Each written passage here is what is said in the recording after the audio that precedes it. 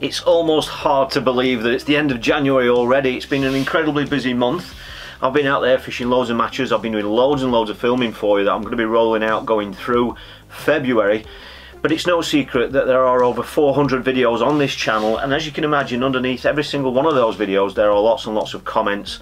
Some great comments, some slightly not so great comments, but there are lots of questions, lots and lots of questions that people have been asking just about, you know, about my fishing, about their fishing, and about lots of the videos that I produce. And so as you can imagine it's impossible for me to go through every single comment underneath every video.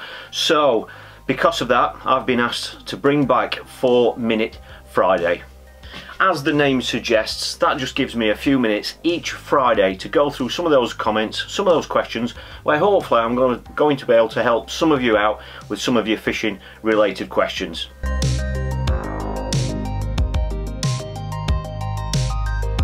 That's a great question and it's partly just because lots of the competitions that I fish, certainly the feeder orientated competitions, you're not allowed to throw ground bait in. But there are lots and lots of venues where you are able to do that but it's just not a technique that comes into play in lots of the session videos that I upload to this channel. However going through February and going through the remainder of this year I will be uploading lots of videos from different venues. It's also going to incorporate lots of different tactics lots of different methods and throwing ground bait in short range and long range is going to come into it. So you will be seeing me do that later on this year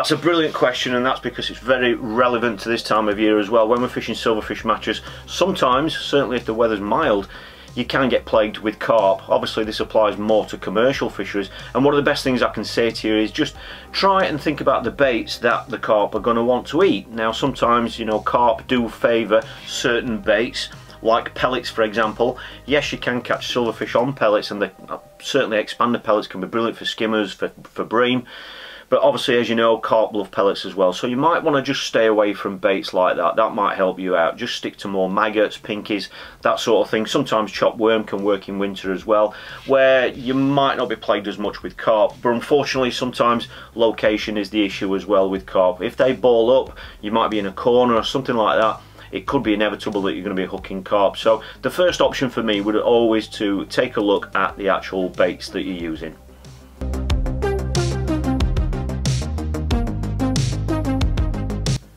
Um, great question, but again, it's because lots of the session videos that I produce are really based around a particular method. You know, there are lots of things I could do in lots of videos. You know, I could switch to a float, a waggler, a pole. There's lots of things I could do. It's just when I upload a session video, I try to keep the theme quite simple because it appeals to lots of newcomers to the sport as well and to those anglers that haven't got a wide variety of fishing tackle so if it you know it just goes down the route of using one rod then it obviously appeals to more people and it just shows that you can catch fish by just keeping a really nice simple approach. But having said that I have got loads of videos coming out where I will be pole fishing and float fishing this year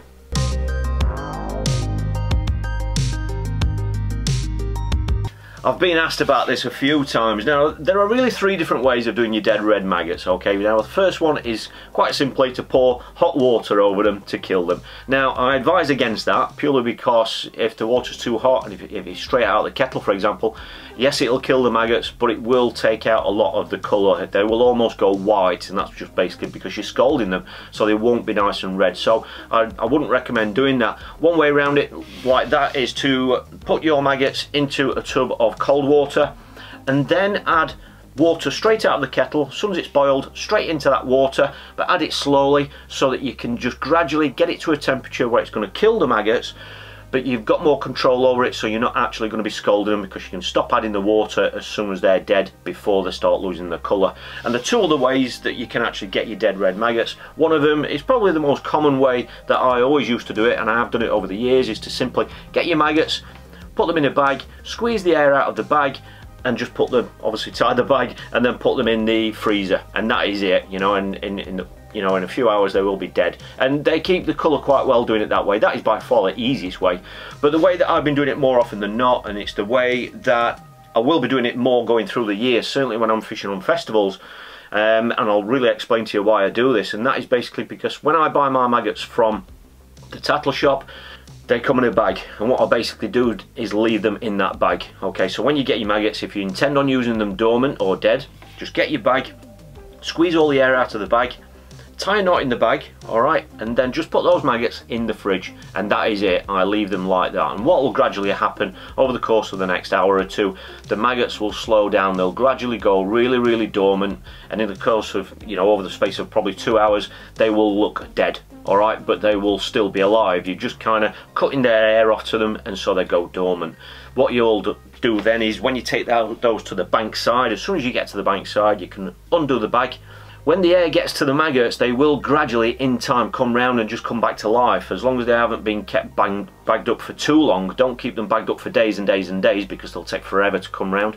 So once the air gets to them they will start to come round. So as soon as I get to the to my peg if I want those maggots live all I can do is just put them in a bait tub and over the course of an hour or two, depending on how long they've been bagged up, the air will get to the maggots, they will gradually come round and you can use the maggots live. However, if you didn't want to use them live and you want to use them dormant or just like a dead maggot, as soon as you take them out of the bag, they will be dormant, pop them in a bait tub and then cover them with water.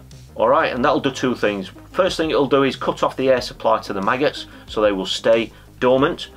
But what it will also do as well, because they're in water, it'll keep them nice and soft. And because you've done it that way, they will retain that lovely red colour. So I've slightly overran, but uh, hopefully those questions are going to be of interest to the people that have asked them and to some of you out there. I will be uploading a 4 Minute Friday every single Friday now going through February and onwards if you want to continue seeing them. So if you want to get some questions in for next week's video then please post your comments underneath this one and I'll use this as a reference for next week's video. So thanks for watching and if you don't want to miss out on any of the uploads this year don't forget to hit subscribe and I look forward to seeing you in the next upload.